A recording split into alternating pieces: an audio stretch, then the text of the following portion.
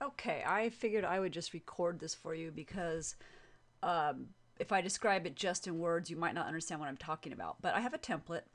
I just, you know, saved a Word document as a template. And I've added a little form that I named Form Discovery, you know, insert form. And then I added a module that I've named Discovery where the code will go. So on the form itself, um, you'll have whatever you have now. I'm, I'm just assuming that you're showing them some form and they're picking a choice from it. So what I would do, or what I do do, is I have a combo box. So here's my little toolbox, get a combo box, put this on the form. Now a combo box you can load up with stuff, but also people can type whatever they want in it as long as it's a combo box and not a list box. So over here, get this up where the thing can see it. There's some style. Style. See how this says form drop down combo? Where I'm moving around over to the left. As long as that's the case, which it will be by default, they can type whatever they want in it. Uh, if you change it to drop down list, they can only choose what you put on the list. So we leave that a combo box. And then um, I'm sure you'll have some kind of command button on there to tell you when they're done. You know, like OK and cancel. So we'll just make this an OK button.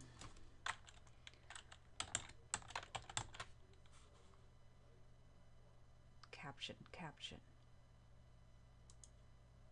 Where am I? Whatever and we'll give it the accelerator of O so that they can press Alt O if they want to activate it instead of having to click it or press enter. Okay, so there's our little form. Now, obviously you'd have more than that in your form, but let me get into the code now. Here's where I'd write the code. And I would have like sub, let's say get discovery phrase. Now I do my forms a little different um, than a lot of people, but I'm going to do it the way I think you're doing it. Um, I don't know if I even know how actually. All right, I'm just going to do it my way. Sorry. So I declare an object as whatever the form is. So basically it's making a copy of that form and bringing it into memory. And I only do that because 20 years ago I read that was the better way to do it. I never totally understood, but I read a few times on the internet that this was superior to just showing the form. So here I've declared it, and let's do a variable for the phrase. So that's going to be their phrase. And then um, I want to do something with this form. So I'm going to set it, because it's an object, I have to use the word set, to a new form discovery. That's what I named that form. Now, I'm going to say with that, let's do some things. So with that, let's take our combo box. Let me go back to the form because I didn't think to name this. I'll name this, I always start combo boxes with CB for combo box, and I'll name it CB disk phrase, whatever you want to name it. Okay, get back to the code. Okay, with our form, now I think you know about with, it's like once I say with this form, if I'm in here and I press period, I get to see all the things that I can do to or with the form. If I hadn't done with, and I'll just go above that code. I could have just said O form dot such and such because I created it right here with the set new. It exists. Now I can do things with it. But it's faster for the computer, supposedly, if you do with and then do all the different things you want to do to it inside of there. It doesn't have to get in and out, in and out, in and out. It just goes into the form, does everything you say, and then gets out. So with our form, combo box, we want to add our phrases. So I'm going to say .cb for combo box, and that brings us up because it's the only thing in their name that starts with CB. Press the tab, got it. And I'm going to add an item to it. Now, I just know this from reading on the internet is how I know how to do it, but I'll say period again, and there's a method. The little green thing's a method for add item. Tab chooses that. And what do I want to add? I want to add discovery number. And then you could just press enter at this point. It will work fine. But what I usually do is put a comma and we're going to give them index numbers. So they start at zero. Zero is the first and one would be the second. So I would just add whatever phrases I want. My brain stopped.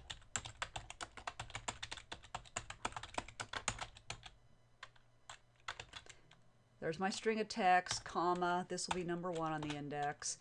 And then um,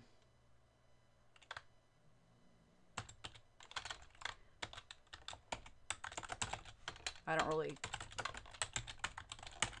whatever. Okay, and that'll be number two, and so on and so forth. Now, if you want,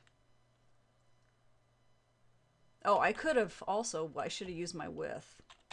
I should have said with the phrase thing, since everything we're doing in here is to that phrase, and that speeds things up supposedly too.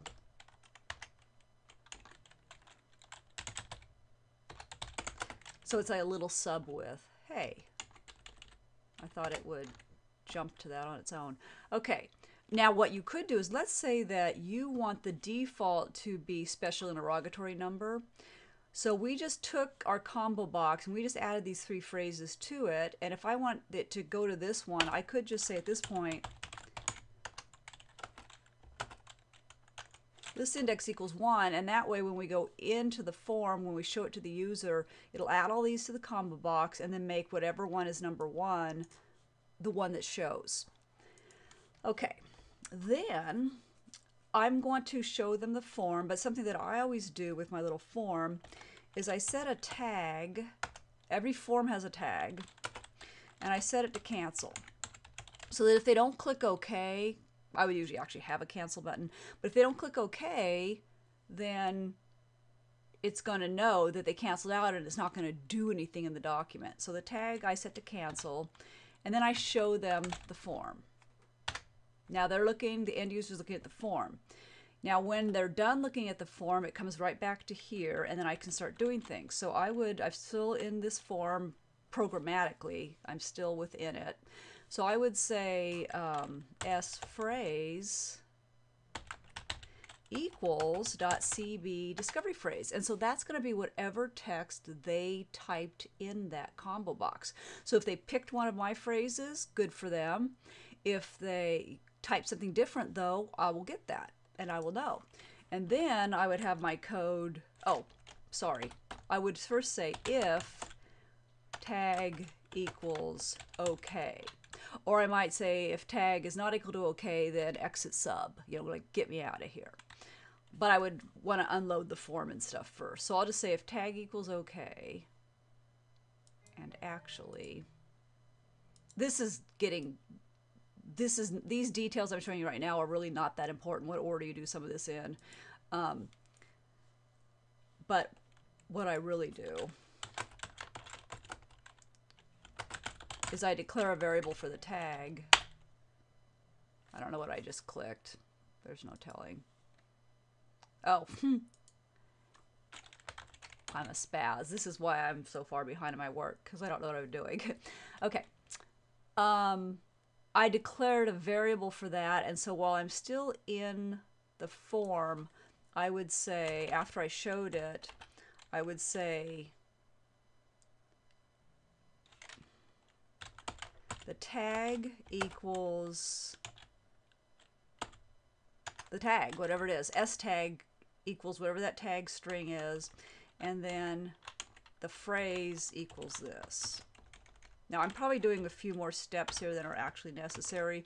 Um, but I won't confuse you by explaining what all the 20 other ways you could have done this. Okay, so I showed the user the form. I got the phrase that they chose to type into it. And then I'm going to say if my little variable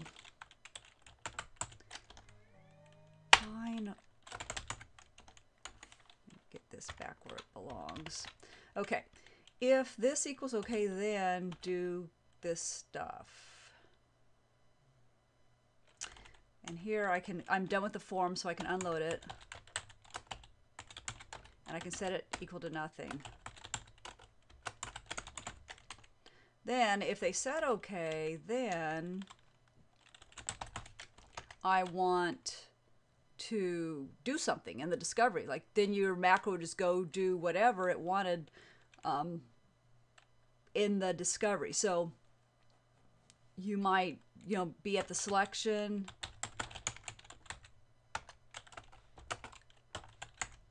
I'll just do that so we can see what happens.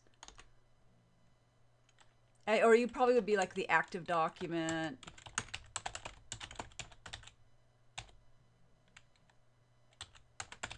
Oh.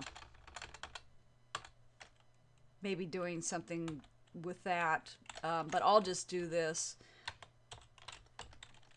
Wherever our selection is, whatever selected is, it'll just put our phrase in. So I assume you've already got some way that you're putting whatever phrase they chose into the document.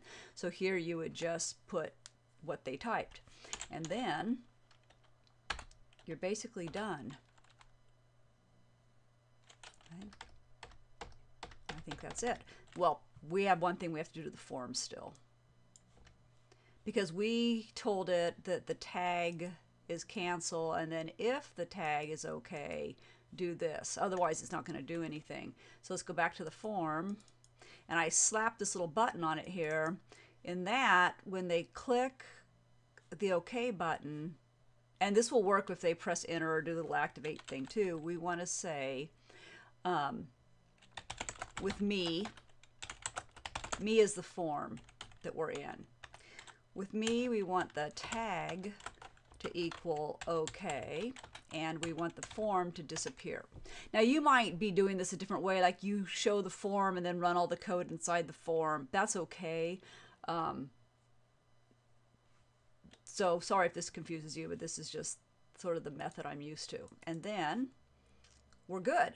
So let's do this. Let's just open a blank document. This is actually our template.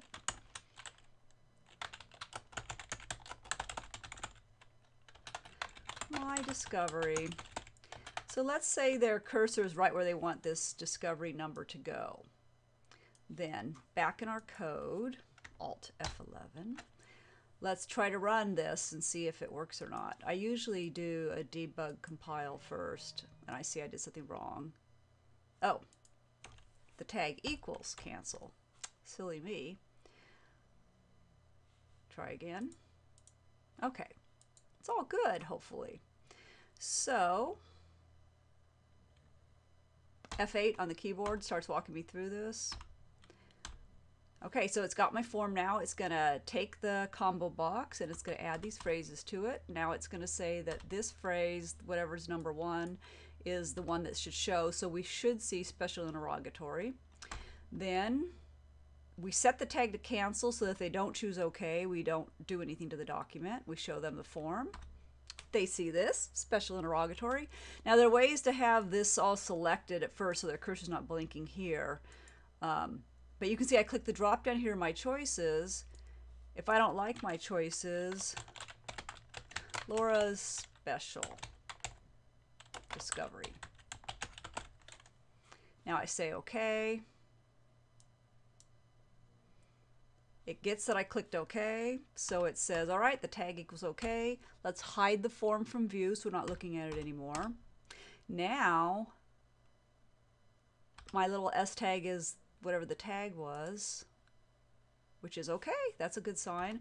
My phrase is whatever they type, Laura's special discovery. And let's get unload the form from memory and set it equal to nothing. That's supposed to clean memory up so we're not bogging things down. And if that string, the S tag string equals okay, then wherever my selection was, we're going to put the phrase. And then you could, you know, you can format it, add styles to it, I probably would actually be using a range, not a selection, but that's just an easy way to show you. And there it is.